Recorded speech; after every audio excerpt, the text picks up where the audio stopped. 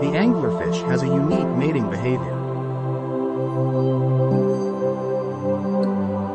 The male anglerfish is much smaller than the female and attaches itself to her body, eventually fusing with her and sharing nutrients.